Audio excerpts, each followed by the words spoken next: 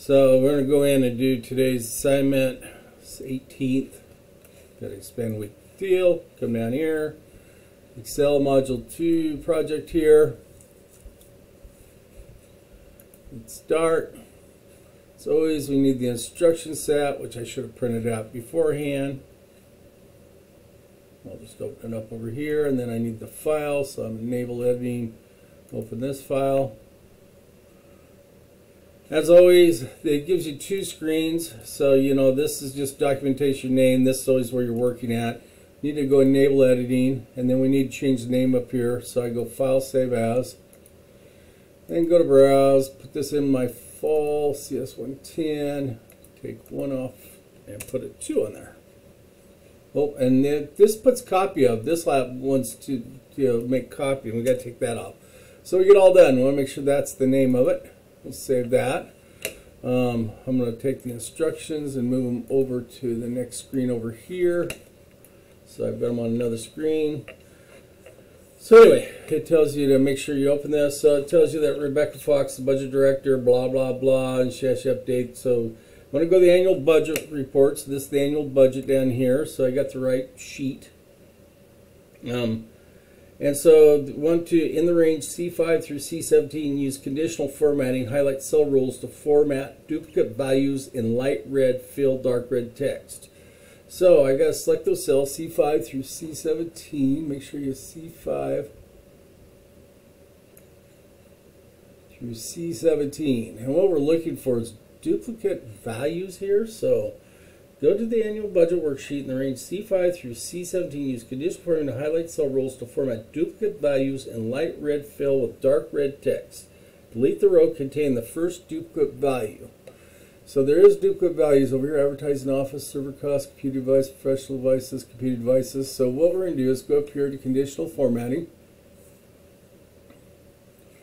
Um, I can't remember where that is. It's under data, data. I don't want what if. It's not under what. Know, I'm sorry about that. It's, it's under home conditional formatting. Where am I? Here, I have conditional formatting. Okay. So we want to highlight cells that have duplicate values. So I'm going to go highlight cells, come down duplicate values. Now, light red fill with dark red text is what they wanted, so this is fine. Say OK. So I did that. Now the first row, so they want me to go delete the row containing the first duplicate value. So the first duplicate value is this one here.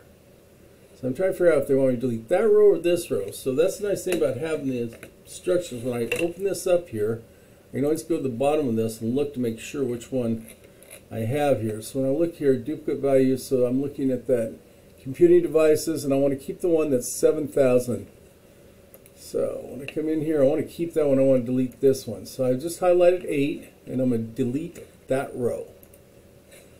Okay? Now you'll get railroad tracks like this right here, and that just means your column's not wide enough. So if you double click the width, you see that's wide enough there. And that's just from your screen being a little bit smaller than the other one. Okay, so I'm going to put the sheet back over here. So now in cell F5, insert a formula without using a function that subtracts the actual advertising amount, cell V5 from the budget advertising so in F5, put a formula, so I'm going to hit equals, and that formula is going to subtract the actual amount D5 from E5. So I need to type E5 minus D5. And for the test that, if you get the wrong answer here, when I put this value in, once again, I'm going to go look, and I'm not going to bring it over your screen, but if I go look at the, the instructions, I can go see that in F5, that 54,250, same answer I have here. So that's the nice thing about having the key, especially when you take the test too. So, um, so fill the formula without using subtracted, da da da. Now fill the range. So it's going to ask you to fill this. So I select this cell and use the fill handle. Bring this down to here and fill that range. Okay, so this is range with the formula in the cells F5. Clear the conditional formatting from the range E5 to E16. So I need to come in here, E5 to E16 and I need to clear conditional formatting.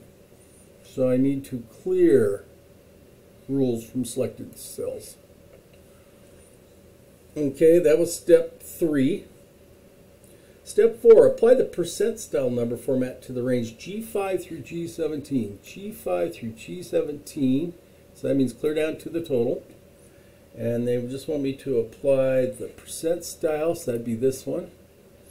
Let me make sure how many decimal places, and they want to display one decimal place after the decimal point. So if I go over here, I can subtract and add. So I'm going to increase the decimal by one. I could do that. I could also went in here to number and open this up and said I just wanted one on the percentage. So either way, would have worked on that. Now, so that was step, and the way I like printing these out because then I can scratch them off as I do it. So that was step four. Now in step five, in the range F5 through F16, F5 through F16, we'll stop there.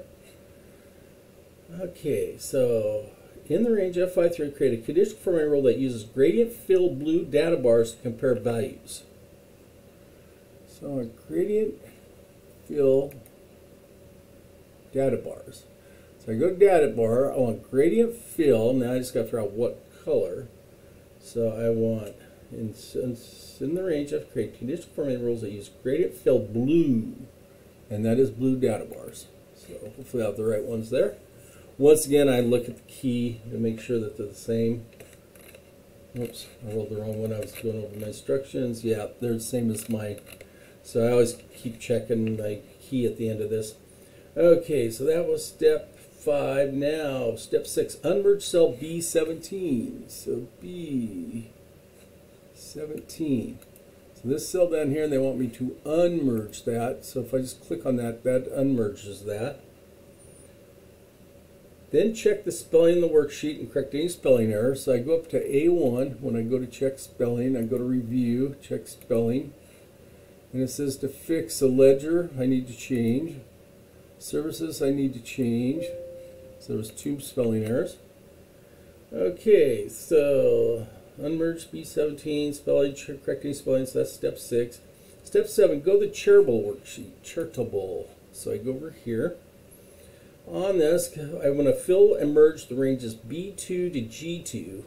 So I want to fill the merged range B2 to G2. So B2 to G2 is already there. So that's the merged range. Fill the merged range with blue accent 2 lighter 80%. So when I go up here to home, I got to go to my little fill. And they want blue color. What color do I want that? I want the blue accent 2. So I go across till I find blue accent 2. This light blue.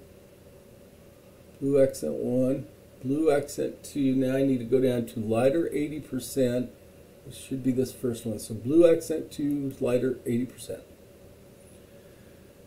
After I use the fill for that, then fill the merge with blue lighter, hide column G. So I click column G and then I just go up to hide. Um, I can right click and hide it. So I can go here to hide. Okay, so I hide column G. That was the end of step 7. Step 8, apply the currency number format to range C5 through C13. C5 through C13. They want me to apply the currency, probably the easiest way, you can pull this down and go to currency format. Um, using dollar sign and zero decimal places. So they want, so when I go to currency, they want dollar sign and zero decimal places. And a dollar sign, okay? One thing I will say, currency format follows along with the numbers. Accounting format puts the dollars over here on the edge of this. So that's the difference between accounting and currency. They both have dollar signs. Just counting always late keeps the dollars in a straight line. Okay, so step nine, in cell C15. So C15. Enter a formula using the sum function. So it'd be equals sum, and then shift 9. Now I just have to figure out what the range, and that range is C5 through C13, so I just select C5 through C13 and then shift 0 to put that range in. Once again, I go look at the, the answer key over here to make sure it's 41,000 on that sheet, and it is. So that was the step of step 9. Over to the second page and cell C16, enter formula. And it's to use count. So equals count shift nine. So whenever you put a formula, you have to put shift nine to close that formula.